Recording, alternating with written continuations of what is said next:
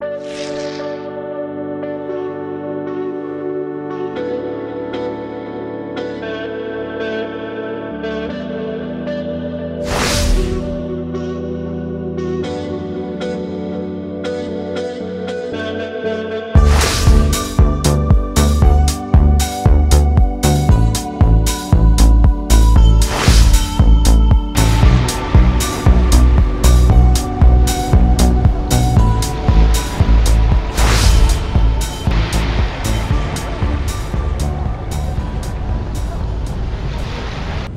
ilang nagdaan. Ngunit ngayon, nalulugod kami, Secretary Simato, at sampu ng inyong mga kasamahan sa departamento ng isang pinakamalaking partner ng siyudad ng Maynila to make it more healthier with air, healthier with body of water and the physical vibrancy of the city. Ang partner namin ay ang Department of Natural Resources. Kaya sa inyong lahat, mga kababayan, maaari may kanya-kanya tayong opinion at napakalaga noon sa demokrasya. Ngunit kapag may nakikita naman tayong maganda at sa tingin natin ay mabuti at makatutulong oh, siya namang ating susuportahan. At sa kabilang banda umasa kayo na mga manunood dumating dito at ang aming mga kababayan sa lungsod. Sa maliit naming kaparanan bilang pamahalang lungsod hindi rin naman kami papayag na namang uri ng development na i-introduce sa lungsod ay makapaminsala sa kalusugan ng tao. Sapagkat yan ay obligasyon nila obligasyon namin na mapanatiling ligtas ang bawat tao. Hindi nyo na kailangan pumunta sa Copacabana Beach in Brazil There is Brazil in Manila. Maganda na kayo ng uh, two-piece. But not now. Because while it is true and we agree that some of it are superficial aesthetic value, but the major issue here, that's why we're all here, is to clean up Manila Bay. And DNR made a facility that all those filth coming from inland ay mapoproteksyonan bago matapon, bago matapon sa gitna ng dagat. Yun po ang kahalagahan ng programang ito. Hindi lang po yung This is just an add-on. At maaari may ilan na nagsasabing hindi na papanahon ang tanong ko sa inyo, kailan ang panahon para pangalagaan ang kapaligiran ng ating bansa? Panis. Sometimes, we in government, masyado kaming susceptible to pleasing a lot of people just to get elected or to be in position to the point wherein we are now turning populist instead of being objective. Marami ngayon, kaliwat kanan, nagmamadali, may panahon para sa politika.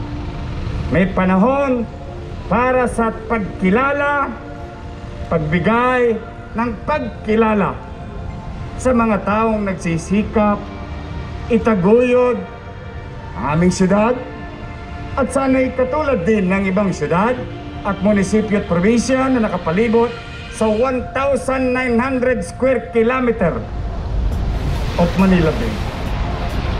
Kaya malaki pa ho ang ating kakarapin.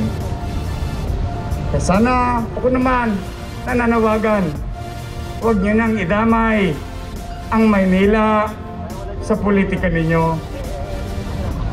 Kailangan namin ito. Kailangan namin ng malinis na dagat. Kailangan namin ng malinis na ilog. Kailangan namin ng malinis na creek. Kailangan yon ng mga susunod na salinlahi namin.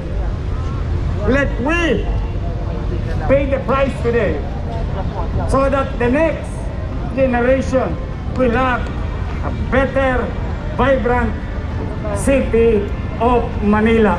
We deserve it, mga kababayan ko.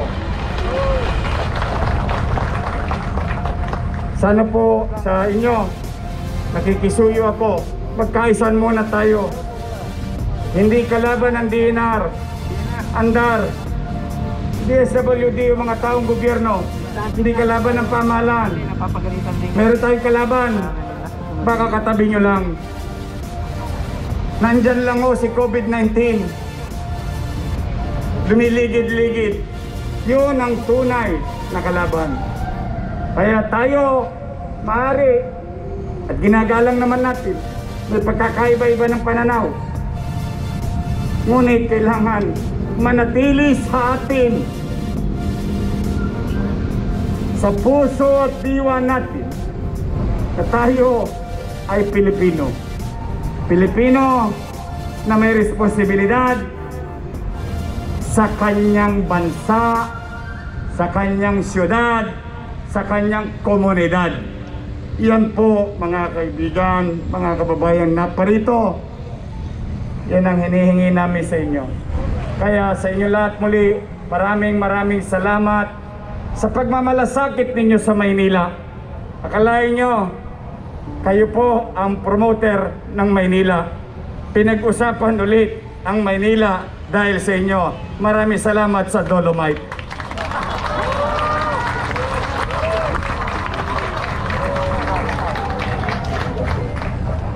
Hindi na namin kailangan mag-promote. At nalulugod naman kami. Pasalamat na rin sa mga banyaga na nagpupunta rito ngayon. At talagang mas excited pa sila kaysa sa ilan nating mga kababayan. Ngayon, and let me be clear about our excitement. Our excitement is just one thing. But let me assure you, in our own little way, in our own little way, in the city of Manila, we will do our best in our own little way to really address COVID-19. Nandun pa rin kami. Hindi kami nalalayo ng direksyon. Hindi kami nalilihis ng pananaw. Yung panganib na nakaabang sa bawat isa sa inyo, sa bawat pamilya, membro ng pamilya nyo o kaanak, pipilitin namin magbuti. At sa pakikisa nyo rin, mamamayan at pamahalang nagkakaisa laban sa COVID-19 one way or another is just a question of time. We will succeed. Hindi pwede manalo ang virus sa tao. Kaya sa inyo po, mga nasa Kodli, thank you for coming. Excited na ba kayo? Excited na? O, wag muna kayo maligo ngayon ha, ginagamot pa yung dagat. Pero enjoy the view. Enjoy cleanliness. And last, nakikisuyo naman ako. O, tumosgas na gobyerno. Tama, mali? Ang laki ng gastos. Tama, mali? Dalawang taon na, nagpapagal. Si Secretary Simato at sampu ng kanyang mga kasamahan sa DNR. Hirap na hirap na rin sila. Bagay na tinutupad nila ang kanilang tungkulin. Modesty aside, we in the city of Manila, makisuyo naman sa inyo, palakpakan nyo ang aming mga Baseco Ranger, Estero Ranger, saka Mandaragat. Ang MMDA, DPWH, yan ang mga partner namin na nakikita nyo pumupulot ng basura dito. Basura ang hindi na namin tinuro kung kani-kanino lumanding dito sa Maynila, kakalawitin namin. Kaya, pero may pakiusap naman ako. Oh, matapos gawin at patuloy na gagawin at aayusin, makikiusap naman ako. Yung mga balat ng candy ninyo, pinag-inuman ninyo, pinagtsitsaan ninyo, lagay niyo naman sa tamang sisidlan.